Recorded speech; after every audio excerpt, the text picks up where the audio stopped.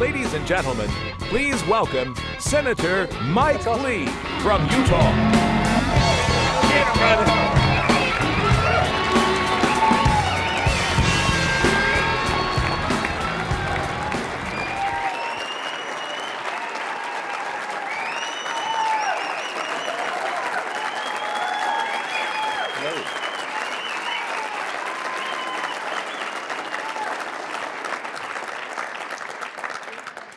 It's so nice and so rare to be close, so close to Capitol Hill and yet so in America. Thank you. you know, this has been an interesting journey that we've been on the last few years.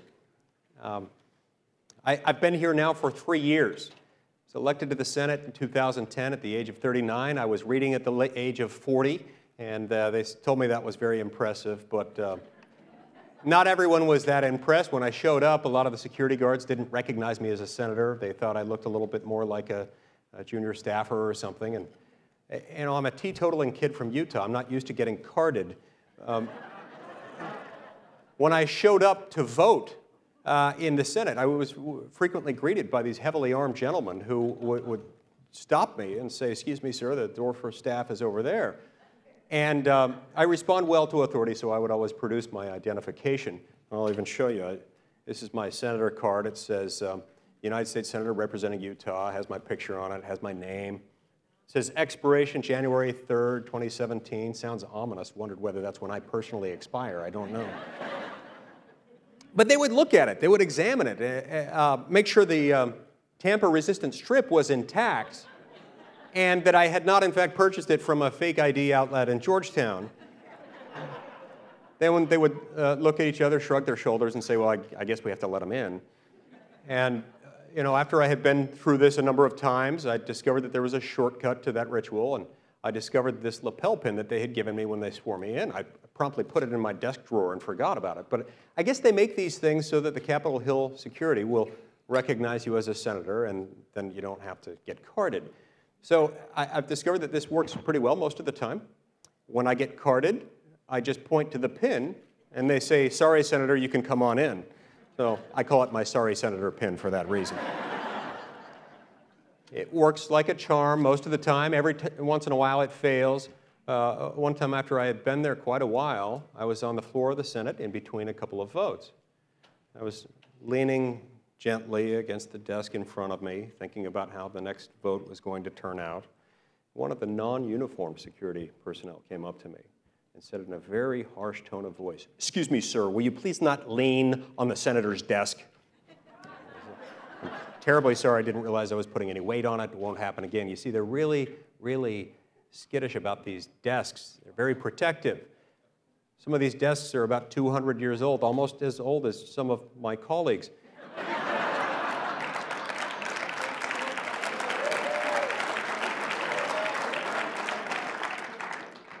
And at that point, the uh, gentleman said to me, Are you with the minority? And I said, What, what do you mean? I, on this vote or the next, I don't always vote with my party. I guess I do a lot of the time, but sometimes my party gets it wrong. And he said, No, are, are you with the minority leader? And I said, I, I, don't really understand what you mean. Mitch McConnell's our minority leader. Uh of course, he's our leader. And uh, I still don't know whether you mean, am I with him on this vote or the next one? And he said, No, are you part of the minority leader's staff? And only then did I realize, oh, that's why he was so upset about the desk thing. Uh, I said, okay, I, and I, I, just pointed to the, sorry, Senator Pinn. Blank stare. It didn't do a darn bit of good.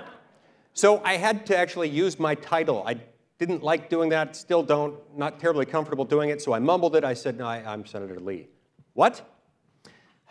My name is Mike Lee. I represent a state called Utah. It's sort of squarish. It resembles a chair. It's in the Rocky Mountains. Lovely skiing.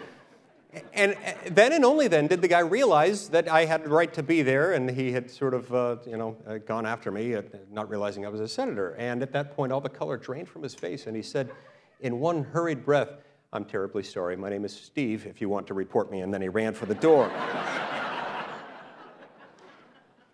I felt bad for Steve. I didn't want him to beat himself up over it, so I, I tried to chase after him. He was too fast. And so now, every time I pass Steve in the hall, I wave to him, I smile, I say, Hi, Steve, just so he knows there are no hard feelings. This could happen to anyone. And only recently did it occur to me his name's probably not Steve. pretty sure it's Bob. Steve's the guy he works with that he doesn't like. You know, had, had, um, had I, I, I not asserted my right to be there that day, I might have found myself being hauled off in handcuffs, and a few of my colleagues might, for their own entertainment, entertainment have, have simply allowed that to happen, waiting a few minutes before telling them, oh, that, that's, uh, he's okay to be here. But had I not asserted my right to do that, I might have missed the opportunity to vote. I might have lost something that uh, was properly mine to assert, but more importantly, lost something that I was supposed to be asserting on behalf of the three million people that I represent at my home state. And sometimes we have to do that sort of thing, not just as senators, but as citizens. We have certain rights that are ours, certain rights that we were born with as American citizens, the right to live under a limited purpose national government, one that recognizes your right to privacy, one that recognizes your right to have most of the governing done at the state and the local level, one that recognizes the right not to live under an emperor who thinks he has every power to legislate under the sun.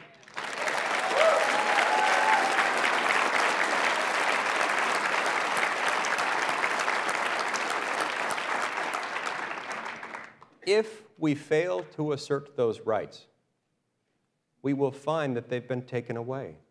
And so we have to assert them. So, what do we do as a movement to assert those rights? Well, we've been pretty good over the years at identifying problems as they arise. A few decades ago, in 1976, we identified a conservative leader for the ages in Ronald Reagan. We failed to win an election that year, but we still found our leader we won an election, and we put that conservative leader for the ages in office in 1980. The difference was we had not only the leader, but we had a conservative agenda. And that's what we need to do today, is find our agenda so that we can install a conservative leader for the ages, and together we can reclaim that which is rightfully ours under our Constitution.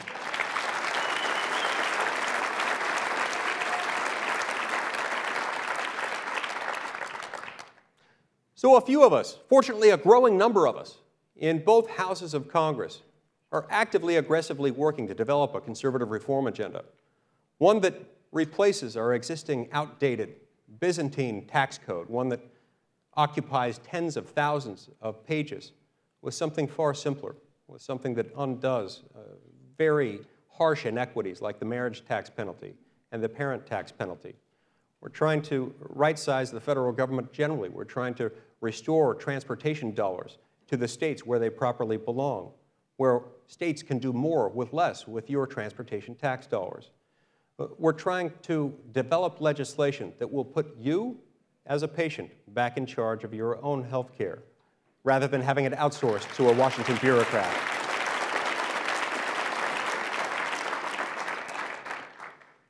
We've got ideas that are moving forward. This is helping us unify our party. There is a natural tension that exists between uh, uh, the political base of a party and that party's elected political leadership.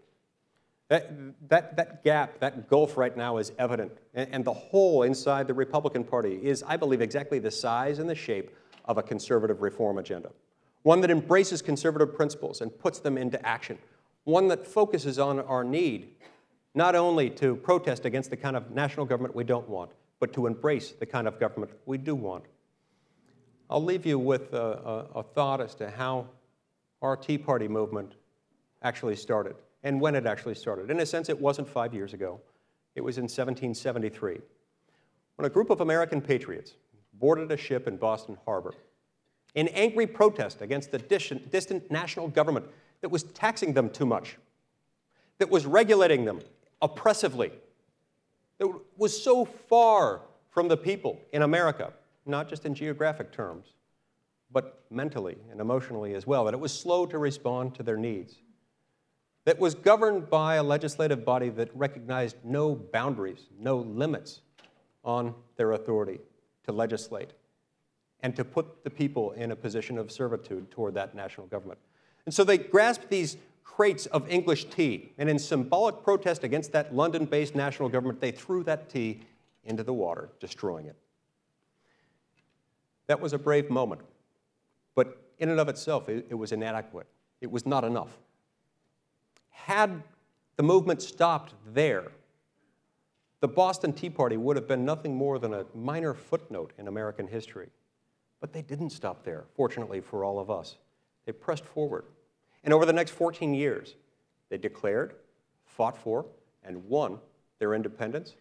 And 14 years later, in that hot, sweltering, fateful, fortunate summer of 1787, they finally embraced and memorialized in writing the kind of government they did want. And by so doing, they helped foster the development of the greatest civilization, the greatest republic the world has ever known. It's time for us to move beyond our mere Boston moments. We'll continue to have them as this president and this administration continues to abuse its authority. We will continue to protest against the kind of government, national government we don't want. But it's time for us also to move our eyes and with it our hearts and our hands toward Philadelphia. Together we can build a greater America. Together we can restore the greatness of this republic. Together we can restore the kind of land that God has reserved for us, a land where the sons and daughters of America were meant to live in freedom. May Almighty God bless the United States of America. Thank you very much.